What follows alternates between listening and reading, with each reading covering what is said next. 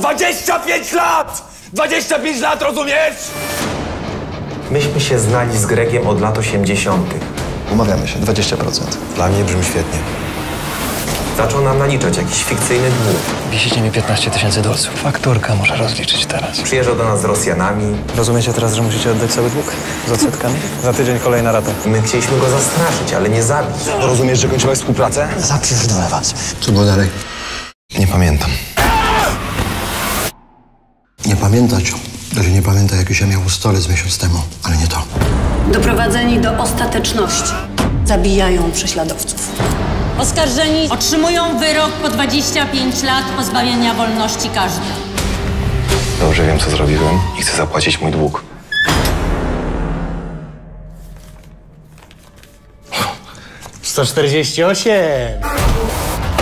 Tu każdy wypierdoli się bez mydła. No szybko, kurwa! No szybciej! Żeby przeżyć, nie możesz ufać nikomu. Jesteśmy tutaj po to, żeby cię chronić. Co to jest kurwa za poczucie? To niesprawiedliwe, Sławek. Jak się ma kogoś na wolności, to żyjesz tylko od widzenia do widzenia. Przetrwamy to razem. Nie marnuj sobie życia ze mną.